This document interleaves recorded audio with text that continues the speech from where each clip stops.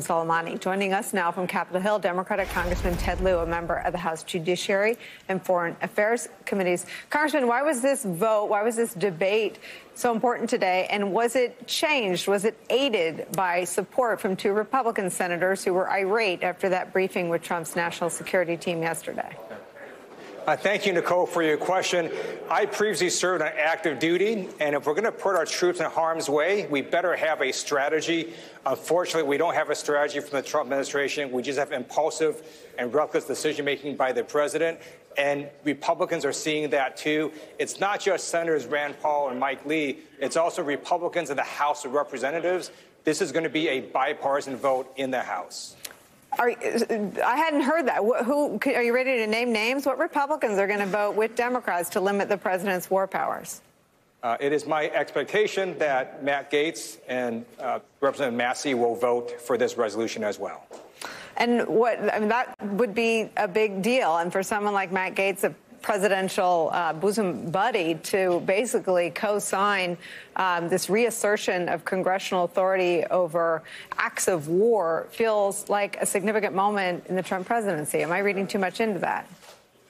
Uh, I believe it would be. Let's see uh, when the vote happens and make sure he delivers.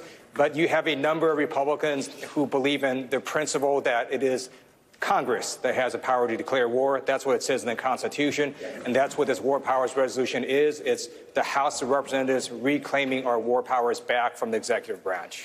You know, I have to ask you, you know, before he retired, Senator Bob Corker actually sought to limit some of Donald Trump's nuclear authority as president, and he was very vocal. He um, said publicly that Donald Trump hadn't displayed the competence for the job that he had. He described the West Wing as an adult daycare facility, publicly and privately uh, the departures of uh, Secretary of State Rex Tillerson was very close to H.R. McMaster and Jim Mattis. Um, he seemed like a lone voice. Is there an uptick since um, he left Congress in terms of Republican concern about Donald Trump's fitness as commander in chief? I think with this last strike and going to bring a war with Iran, we're seeing more Republican concern. I previously introduced legislation with Senator Ed Markey of Massachusetts to require the president to seek congressional authorization before he could launch a nuclear first strike. Mm-hmm. And in terms of the whole nuclear issue, we have to ask, in terms of Iran, what the actual goal of our government is. If it, in fact, is to get Iran back to the negotiating table on nuclear weapons, we're much further away from that goal because Iran has, in fact, said they're no longer abiding by any nuclear limits on their program. And that's a direct result of Donald Trump's reckless decision making. Did you have the same reaction as some of your colleagues and as Republican Senator Mike Lee did from yesterday's briefings yesterday? Uh, I learned nothing from that briefing that I haven't learned by watching MSNBC. It really was a, a briefing. Thank you, and I'm sorry. Was, was little on substance. And I agree with Senator Lee uh, that the briefers need to do more than say, trust us. Uh, let me switch gears to impeachment. Any um, late breaking news this afternoon? There's a report in Politico that Republicans are saying they expect to have the articles of impeachment perhaps um, by the end of this week or beginning of next. Well, let's take a step back and ask why did the House impeach in the first place? It's because Donald Trump abused his power and solicited a foreign government to help his reelection. That is illegal. No one is above the law, and now we need a fair trial. And Americans understand that a fair trial includes witnesses and documents. That's all we want the Senate to do, and it's our hope that Mitch McConnell will put out rules that allow for witnesses and documents. He's announced that he has the support for the rules, whatever they are, whatever sort of, you know, uh, I think a lot of people are concerned that they won't be produce either of those things, neither witnesses nor documents. What leverage do you have to get those two things?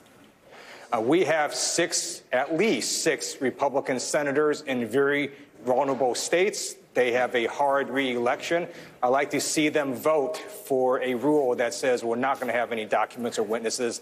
That would be a sham trial. It would be a farce. And also would be unfair to the president because the American people understand that was not a real trial. Um, and I'm, would you guess those same six senators are the targets for a potential vote down the road on hearing from a witness like John Bolton? I believe John Bolton has made it absolutely imperative that there be witnesses called at the Senate trial. John Bolton has direct firsthand knowledge, and I sure would like to see these six vulnerable Republican senators vote to say they don't want to hear from John Bolton. Um, I want to come back to the news that I heard you make. Um, you're guessing at least two Republicans, one of them um, a close Trump ally, will vote with Democrats today to limit Donald Trump's war powers. Yes, uh, that is what I believe will happen. Congressman Ted Lieu, you never disappoint. Thank you for spending some time with us. We're grateful.